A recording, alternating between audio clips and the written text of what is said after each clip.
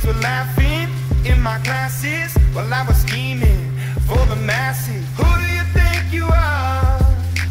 Dreaming about being a big star. They say you're basic, they say you're easy, you're always